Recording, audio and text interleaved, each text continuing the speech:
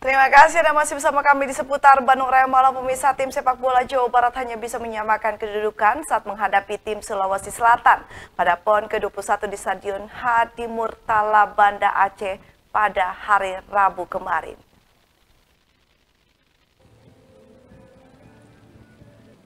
Dalam laga perdana PON ke-21 ini, Jawa Barat sempat tertinggal 0-1 dari Sulawesi Selatan di babak pertama. Pemain Sulawesi Selatan bernomor 16 Suharman mampu memanfaatkan kelengahan para pemain Jawa Barat di menit ke-9 sehingga mampu membobol gawang yang dijaga Sujarmin. Di babak pertama, lini belakang Jawa Barat kerap tertekan.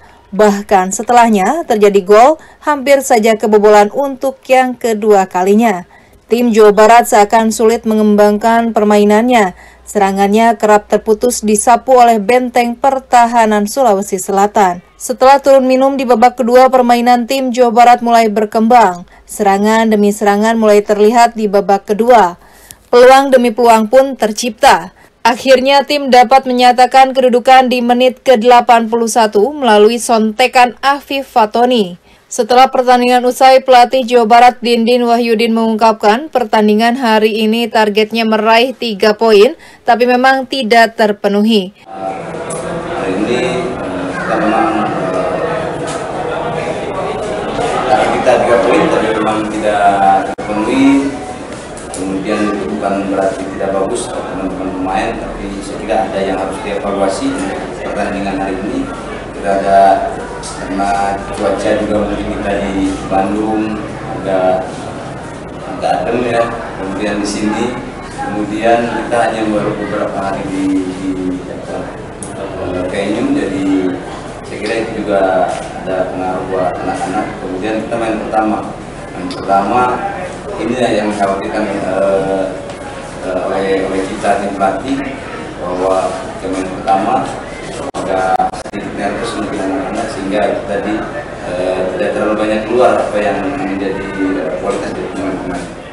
Sementara itu, pelatih tim Sulawesi Selatan, Denny Tarkas, menjelaskan hasil ini sangat mengecewakan. Denny menyayangkan terhadap kepemimpinan wasit dan merasa timnya dirugikan. Allah berikan hasil yang seri yang kami lakukan hari ini, kami sangat bersyukur itu.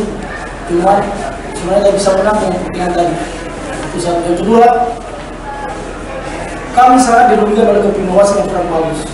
Ya berapa kali pelanggaran-pelanggaran yang bisa pelanggaran buat kami terus jalan. Itu yang sangat kami kecewa. Terus kalau dicatat baik-baik dan disampaikan bahwa medis kami ditegur oleh wasit pemain kami disuruh cepat apa semua. Ya. Saya mau tolong PSSI Pak Erick mohon maaf Pak Erick tolong datang ke sini lihat jangan anak-anak muda ini cikal bakal generasi emas kita untuk berprestasi di PON ini untuk bisa di Liga-Liga 1, Liga 2 dirusak oleh wasit Hermanto Sidik, Bandung TV